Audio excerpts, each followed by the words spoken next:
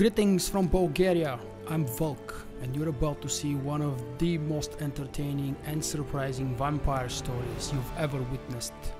No, that's not because you've chosen to watch my walkthrough. It's just that The Witcher 3 Wild Hunt's second expansion called Blood and Wine presents one of the most incredible adventures. The vampires in the Witcher's world in Northern Kingdoms are very different than the traditional vampires we know from the children's tales. I've chosen to start from this screen not because I want to waste your time, but because I want to load one of my older files and begin the expansion from scratch. A couple quick words. This story takes place after the main quest of the original game The Witcher 3 Wild Hunt. It is absolutely not related to the first expansion Hearts of Stone with an exception of just one or two mentions that I will definitely point out when you go when we come to those points. But the stories are not related. Some of the choices you or I have made during the original game will have a very small impact. But again, Remember, small impact is still better than no impact. My Geralt is level 39 and he's about to embark on an awesome adventure. How many times did I say that already? Take a quick look in the playlist and you will find the video before this, because this is part 1 of the Blood and Wine walkthrough. I have a part 00 where I've explained my favorite build, the one I will be building for in this walkthrough, and uh, I've also told you why I've selected those abilities, what kind of gear I'm equipped with, what gear I'm collecting, why do I love that build, and of course during that video 00 you will find a few links to other guides and tutorials related to the expansion and older ones of course from before the expansion. I really wish that we together will enjoy this modestly long walkthrough series because I have an intention to show you absolutely all of the most interesting and important moments from the main story.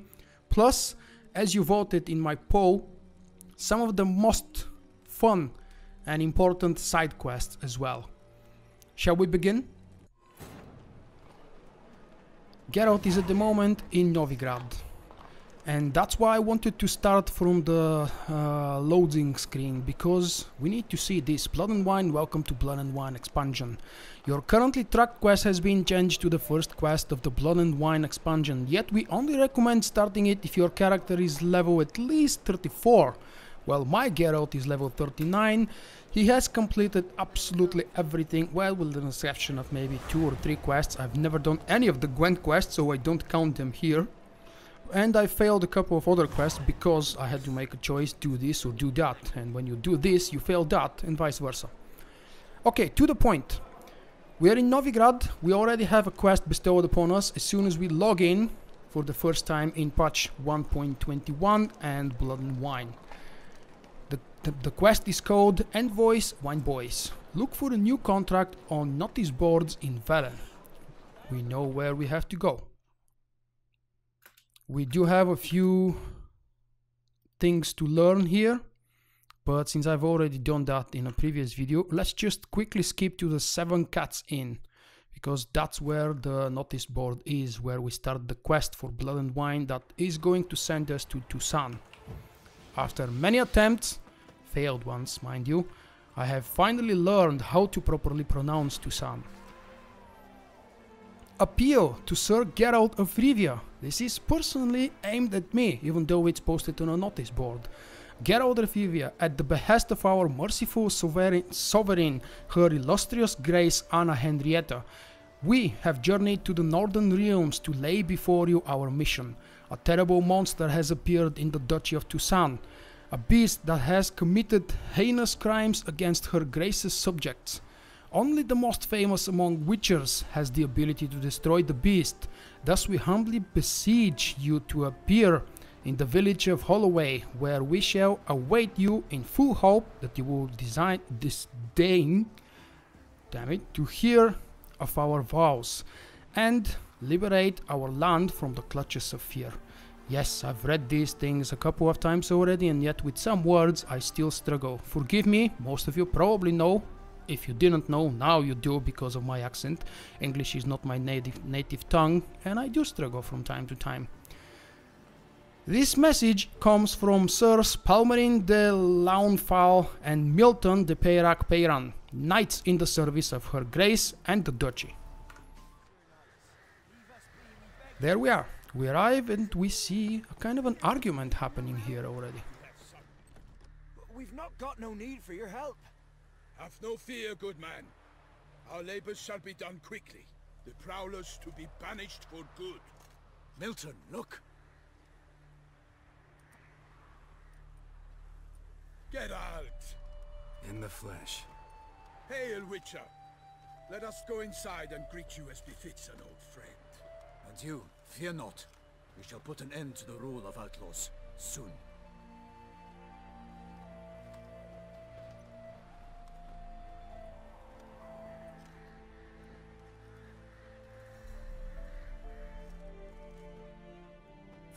Message on a notice board. You see, Palmerin? I told you. The griffin at White Orchard. I knew that were we only to follow the tracks of its slayer, we would in the end find Geralt. Milton de Peyrac Peyran and Palmerin de Launfal. Good to see you both. Been years. Be assured, we share your joy. You must forgive us our, uh, surroundings. When we pledged to place the village under our protection, the village elder gave us this hut as our lodgings. He swore it is the best hut in the village. Get involved in some squabble? We discovered that in retreating, the Redanian garrison that left this land still is at the mercy of numerous plagues. A tyranny of bandits the most onerous among them. These plunderers shall soon descend on this village to collect tribute. Milton and I will dissuade them. We are both sworn to fight injustice and oppression wherever they rear their heads. The matter does not concern you, of course, but do us the kindness of waiting. Once we have dealt with these marauders, we have a matter we must present to you. So, plan to go out and meet the bandits when they arrive? Fight them? Palmerin wishes first to appeal to their sense of decency. but I expect they will be deaf to this. Yeah, completely. We must afford them a chance to stand down. Many a hardened outlaw has left the path of wrongdoing upon hearing words of admonition. Doesn't happen in these lands. Ever. If they do not heed my reprimand, we at least will know we have done all within our means to evade bloodshed. Fine. Naturally, I'll help when Palmerin's rhetoric falls on deaf ears. Excellent. Then we've but to wait for the rogues to arrive. They's a coming! Hear that? Your bandits have arrived. Let us go out to greet them.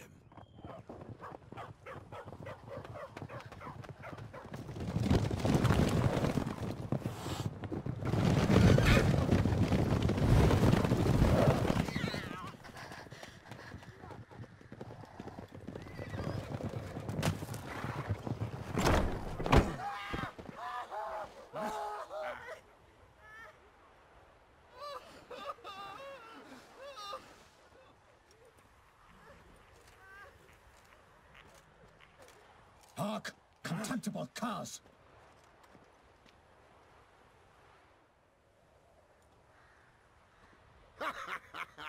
He mean us? I, Palmerin de Launfal, call upon you to repent. Set your hearts. Do you not see that they are blackened? Regular punch and duty here. To prey upon commoners is no honor. To loot their meager stores, abandon the path of shame, and we will spare you.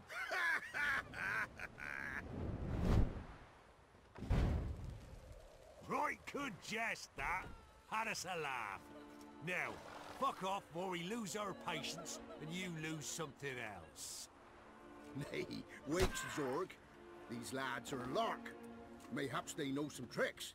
Oi, players! Can you toss balls all loopity-like? Or do that thing where one spits fire while the other farts? Noble Palmerin's giving you a chance. Now I'm gonna give you some advice. Do what he says. Or what? Or you'll find yourself fighting knights errant in the pay of the Duchess of Toussaint. And they eat scum like you with their morning porridge. There's three of them. Two turtled up in armor. We'll come back later. Some wench sent them. Folk will say we's afeard of wenches and jesters. Ooh, insulted the Duchess. Not good.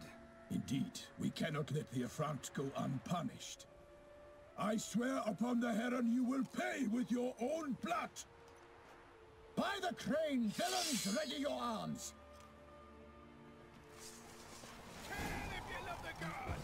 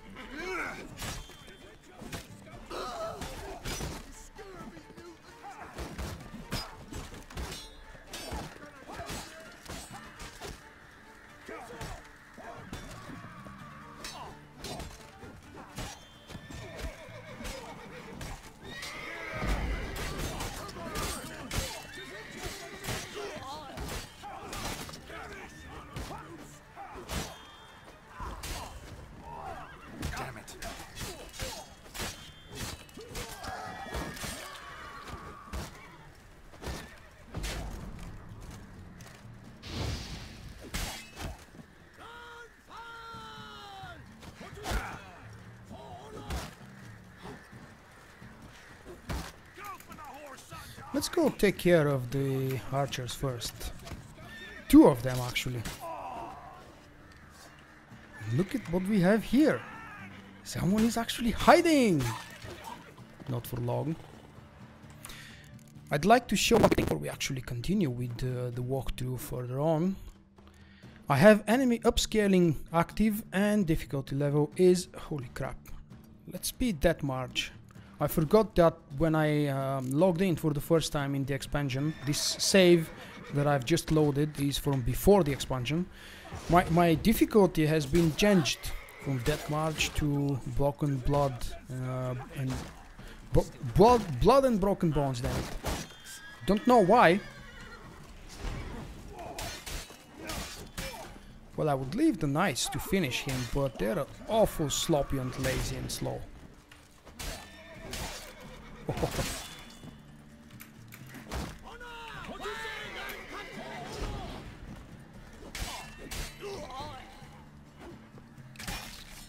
Good vitality.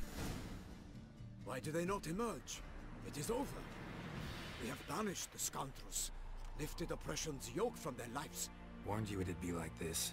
Fear you as much as they did the bandits now. Sorry, no fanfares and flowers. You're not in Toussaint. Ah, it is true what folk claim. In the north, no noble deed goes unthwarted. It is time to go home. And we shall, my friend. Come, Geralt. It's time we delivered our message. Now let's see why exactly these two noble knights arrived. So fess up. What brings you such a long way? We are to deliver Her Grace the Duchess's message in full, with all due ceremony. For tradition, Is sacred in Toussaint. All right, fine. most honorable Geralt, slayer of monsters and all evils nefarious, which prey on the defenseless of this world. Whereas never have you been known to deny help to the innocent, nor leave widows and orphans to fates undeserved. Answer you now our present summons. Free us from the beast which floods our streets with blood, and sows panic in the hearts of rich and poor alike. Come to our aid, Witcher. Thus humbly beseeches you the Star-Crossed City's most gracious protectress, Her illustrious Highness, Duchess Anna Henrietta. Shall you answer her call? Anna Henrietta really say all that? Word for word? Well, in point of fact, she said, bring me the Witcher and dare not spare your horses. Only make certain this time he comes alone. The Ducal Chamberlain added the rest. You know how it is. Yeah, I remember. I might add, be it unofficially, that a hefty reward awaits. Yet the specifics you will need to verify with Her Illustrious Highness. Might be the most fervent request that I take a contract ever. And the most polite. And now we've got all that behind us. I want to hear more about this beast. Some kind of monster? Just guessing. Most assuredly, though no one has caught a good look at it as yet. Our only sure witnesses. Bodies massacred in a brutal, horrid manner. Look, some sketches drafted from descriptions given by those who claim they glimpsed the beast. Each quite different. To my mind, these witnesses lie. How many victims so far? Two. When Her Grace learnt of the second, she discharged us immediately to fetch you, promising grants of land and fortunes in gold, should you answer her summons. An ill wind blows, Geralt. The beast cannot be tracked. Folks say it wields black magic. Also, both victims were nobly born, and the start of a tourney draws near.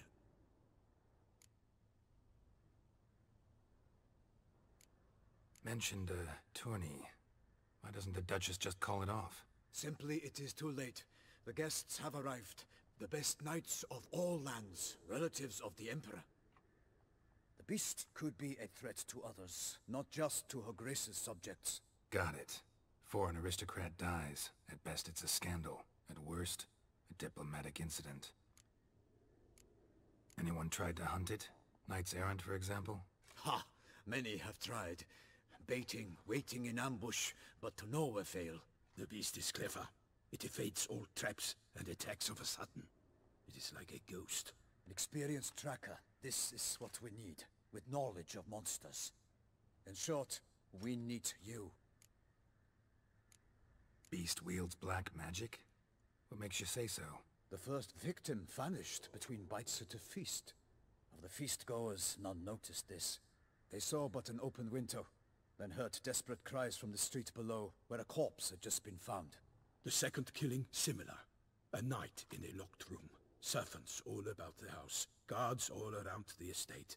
Yet the beast somehow got him out, dragged him to the town square, and killed him there. No one saw, nor heard, a thing. We have no fear of creatures against which sword and shield protect, but of this beast nothing is known, save that it cannot be traced, kills effortlessly, and with no rhyme or reason we can discern. I sometimes think back to all the contracts I've ever taken from sovereigns. Can't name hardly any where I came out ahead. You cannot be thinking to refuse. no. Just struck by a thought. How the Duchess can sometimes be... Hmm, demanding. So you accept the contract. Excellent! We must set off at once. We long wanted this land searching for you. Yet time is of the essence. Ready to go, soon as you're packed. Ah, then post haste to Toussaint. To Toussaint! To Toussaint, the land of love and wine.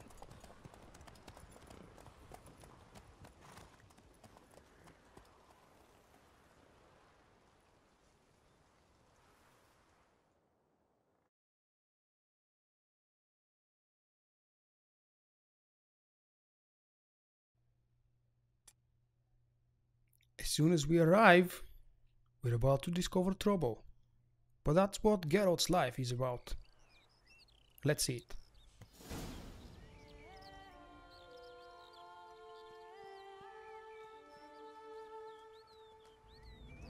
Toussaint, the land of love and wine. Exactly how I remembered it.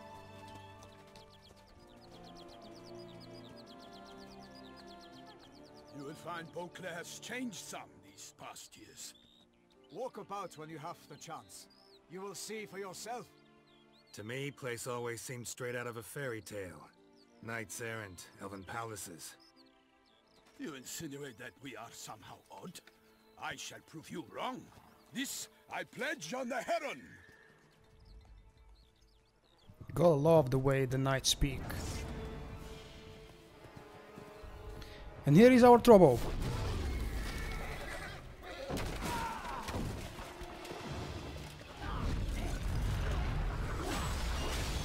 Or maybe not. But most likely yes.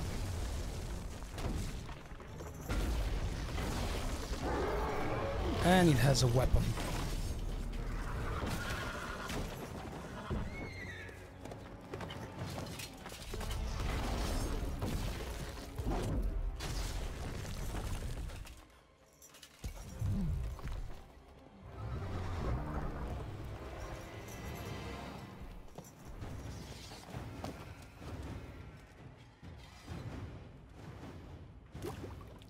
You know what they say. The bigger they are. Let's buff up accordingly. Now first we gotta go through these damn pop-ups. Introductions to the changes they've create they've made with the latest patch 1.21. Uh, Unfortunately I do not remember what was the appropriate oil, but I believe it's Ogroid because well it's that kind of a monster. My favorite decoctions, Ekimmara, damage dealt to foes that generates vitality, may not be the most suitable one in this case, but I have plenty of toxicity until the limit and I can afford to use both my favorite ones. The second one being Katakan, which gives me extra crit. And I might just have a chance to use once or twice, maybe Tawny Owl. Let's go and fight the beast.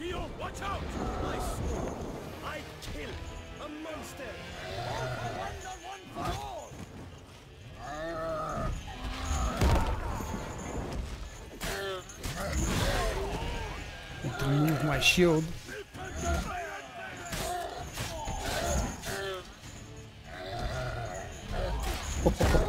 that was a close one.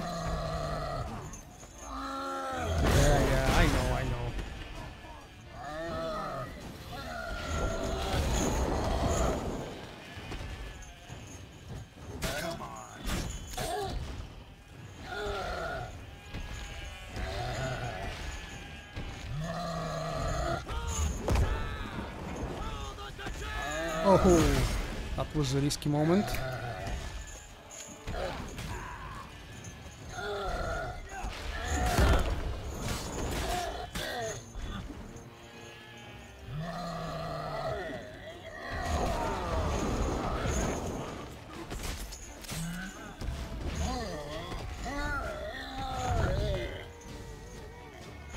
Why would the sheep desire to go right through the corpse? Big beast. Tackling it single-handed? None too wise. Neither is love born of wisdom, Witcher. So, Guillaume, out with it. Which fair damsel inspired you to vow to kill that filth? The most beautiful among them. If he wishes to guard her name a secret, he need not reveal it. You I do not know, sir, nor seem you a knight, yet still I am profoundly grateful, nay, indebted to you for your succor. This trophy, sir, is yours. A giant this close to human settlements? Strange. Well, that was no ordinary giant. His name was Goliath, rumored to have been a knight once, but one who broke his vows. For this, the Lady of the Lake transformed him into a wild giant and banished him into the Gorgon Hills. So he came back down? Why? Several times each year, hunger chased him into the lowlands. Goliath had killed and devoured many shepherds. Guillaume's hunt served a noble cause. At any rate, it's a tale for more agreeable environs. I'll take the trophy. Why not? Could find someone who'll pay to buy it. Put up a good fight against the giant. Got experience battling monsters? None. In Toussaint, we mostly chase bandits. But I vowed I'd bring my heart's champion the head of a monstrosity, as the famed Gottfried, known as the Giant Killer, did. You don't mean to hunt the beast, I hope. The matter's best left to Geralt. Another challenge awaits me. Yet if Geralt is to hunt the beast, he ought to know. It struck again. The river surrendered a corpse. It washed up in the meander by the cockatrice. Damien de la Tour's guardsmen are there already, securing the area. Securing the area? Better go there now before they trample any tracks, manhandle any evidence. Set forth then. I shall ride for the city to inform her gracious magnificence that Geralt has arrived.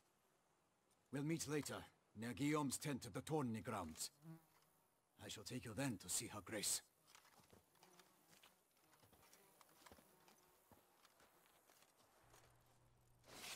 Time to get the trophy from the beast.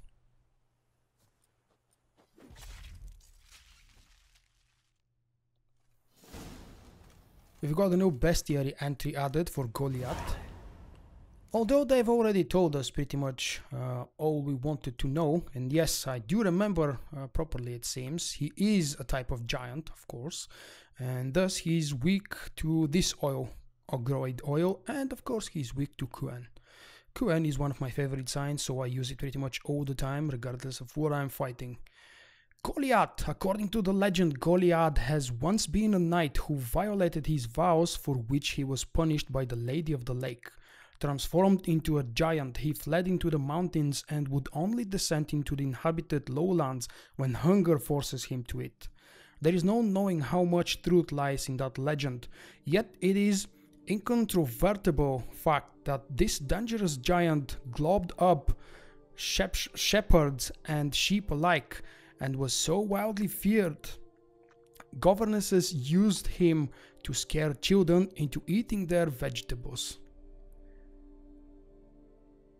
Though he came across as a wild, unthinking beast, Goliath used simple tools and any item could turn into a deadly weapon in his powerful hands. When fighting Geralt, Goliath wielded a milestone, a millstone, making his every blow truly crushing. Luckily, Geralt already had some experience slaying giants and made quick work of Goliath as well. With the much appreciated help of three knights, Milton the Peyrac Peyran, Palmerin the Launfal, and Guillaume the Launfal.